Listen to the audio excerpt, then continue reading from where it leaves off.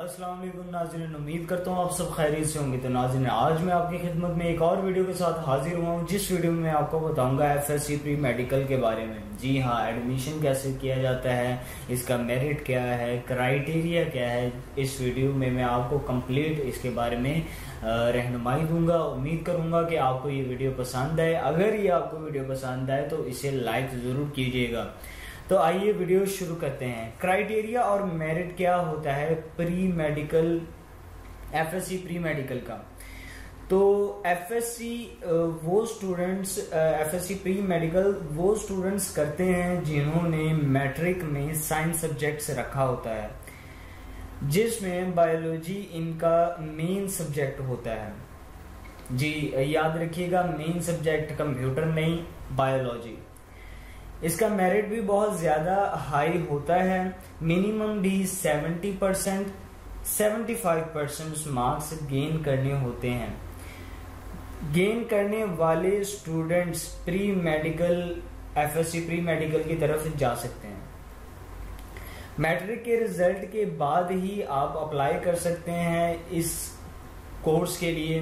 F S C pre medical के लिए जब आपका रिज़ल्ट आता है अक्सर अमूमन पाकिस्तान में जून, जुलाई में रिज़ल्ट आ जाता है तो रिज़ल्ट आने के बाद ही आप F S C pre medical के लिए अप्लाई कर सकते हैं। Before that it is not possible biology वाले इस फ़ील्ड को चुनते हैं F S C pre medical को। F S C pre medical का स्कोप क्या है? तो अगर स्कोप की बात करूँ तो पाकिस्तान में तो इसका स्कोप है ही है, बहुत है। और मैं एक बात आपको क्लियर करता जाऊँ कि बायोलॉजी पढ़ने वाले सिर्फ़ अब एमबीबीएस या बी डीवीएम करने वाले नहीं होते हैं। अब इसकी इतनी शाखें हो चुकी हैं कि उंगलियों पे अगर मैं गिनना शुरू कर दूँ तो वो ख़त्म नहीं होंगी। अब बहुत सी शाखें आगे और आ गई हैं। मेडिकल की फ़ील्ड में, जो कि मेडिकल होता है नर्सिंग आ जाता है पैथोलॉजिस्ट आ जाता है साइकोलॉजिस्ट आ जाता है, बहुत सी आगे फील्ड्स मेडिकल्स में आती हैं। तो जहाँ पे पाकिस्तान में बाहर ममालिक की अगर मैं बात करूँ तो जहाँ पे लोग बसते हैं तो वहाँ पे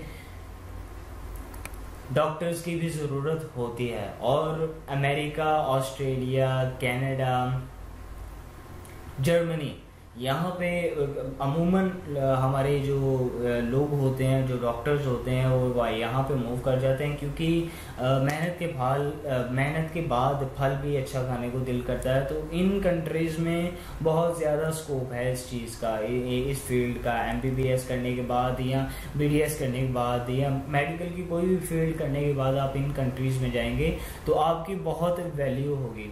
तो सिर्फ़ पाकिस्तान में इसकी वैल्यू नहीं होती।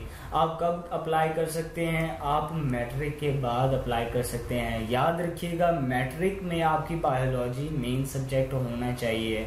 जो लोग समझते हैं कि बायोलॉजी उन्हें बहुत पसंद है या वो उसमें बहुत अच्छे हैं तो मैं उन्हें प्रेफर करूँगा कि आप फिर मेडिकल की फ़ील्ड में आगे जाएँ। क्योंकि बायोलॉजी एक छोटा सा सब्जेक्ट नहीं है, ये बहुत अच्छा सब्जेक्ट है और बहुत उम्दा सब्जेक्ट है। बहुत लोग डॉक्टर नहीं बन पाते, अगर आप में काबिलियत है तो इस काबिलियत को यहीं पे मत छोड़ें। इसे आगे तक लेके जाएँ। तो उम्मीद करता हूँ ये वीडियो आपको पसंद आई होगी। अगर ये वीडियो आपको पसंद आई है तो इसे लाइक करें शेयर करें कमेंट करें और हमारे चैनल को सब्सक्राइब करना मत भूलिएगा। और हमारी मज़ीद वीडियोज़ हासिल करने के लिए बेल आइकन पे क्लिक कर दिया करें ताकि आपको बजरिया नोटिफिकेशंस हमारी वीडियोस मिल जाए। अल्लाह हाफिज़।